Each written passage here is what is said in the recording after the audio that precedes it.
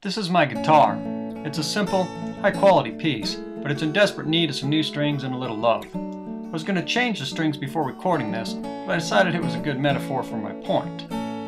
This is me playing. More than 20 years ago, I was awarded a scholarship for guitar. I've received a great deal of professional training, practiced countless hours, and was good enough to make a living playing and teaching. That was a former life, and almost all of it's gone.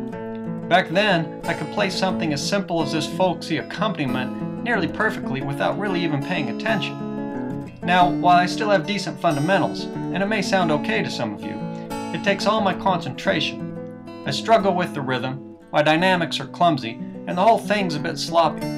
Why? Well, because it's been a while since I received professional training, and these days I don't play much more than an hour or two a month. This is me shooting. Ten years ago, I belonged to a gun club. I had recently received professional training. I went to the range twice a week or more. I could draw from concealment and put three shots on an 8-inch plate in 2.5 seconds consistently. I could consistently do the same thing on a torso-sized target while moving. I can't quite do that anymore. I still have decent fundamentals, but I struggle with the consistency. Why? Because it's been a while since I received professional training, and I only shoot twice a month. Now some might tell me that I still play guitar pretty well, and I appreciate that.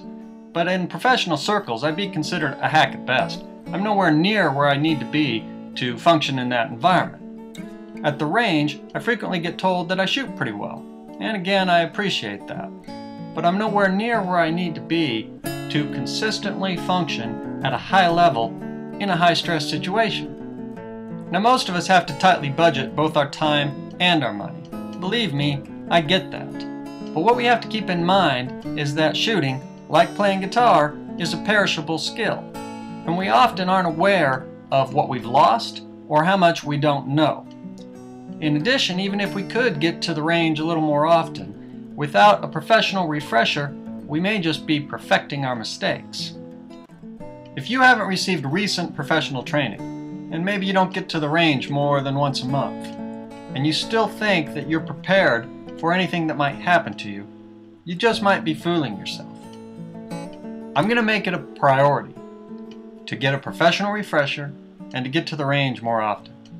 And if you haven't already, I challenge you to do the same.